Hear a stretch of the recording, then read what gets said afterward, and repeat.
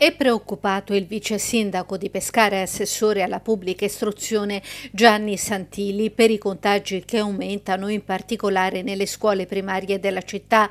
Diversi alunni sono rimasti a casa perché positivi o in quarantena, senza contare gli insegnanti. La fascia più colpita è quella dai 5 agli 11 anni delle scuole primarie. Per questo Santilli invita ora più che mai a rispettare le norme anti-Covid e a vaccinare i più piccoli. Io le chiedo qual è è la situazione contagi all'interno delle scuole? Mi sembra una situazione insomma non troppo confortante.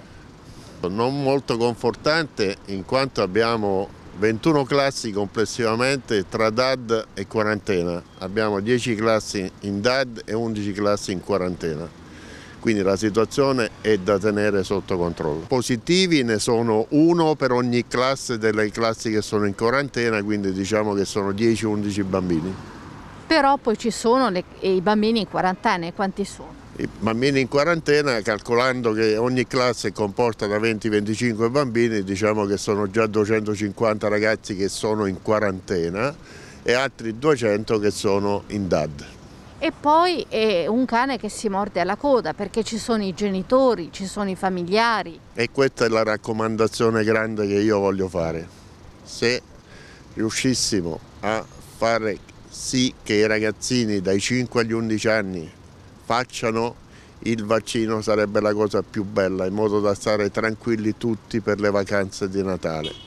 Stiamo avendo degli incontri anche con la ASL per cercare di decidere che cosa fare questi ultimi due giorni di scuola. Vedremo il risultato fra qualche ora. Quali sono le scuole più colpite? Sono un po' tutte tranne il comprensivo 1 e il comprensivo 4 che non hanno contagi, ma le altre scuole in media sono 3 o 4 classi ognuna.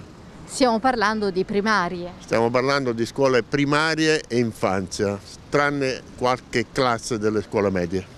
È possibile che dopo le vacanze di Natale non ci sia la riapertura di queste scuole primarie se la situazione tenderà a peggiorare?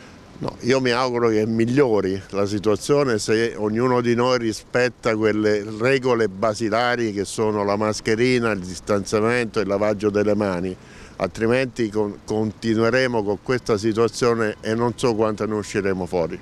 Un appello ai genitori? Un appello importante ai genitori che voglio fare è quello di rimanere possibilmente in famiglia. Nella regione eh, chiaramente calcolando eh, che sono tanti tanti ragazzi che vanno a scuola i ragazzi in quarantena sono tantissimi, quindi dobbiamo stare molto ma molto attenti. Il comune di Pescara a che punto è sui vaccini e sui tamponi? Allora, sui vaccini stiamo a buon punto, c'è una grande eh, partecipazione al, al lab che abbiamo aperto alla stazione di Portanova. Invece per i tamponi confermo che dal lunedì al venerdì si può andare tranquillamente su prenotazione al, eh, allo stadio.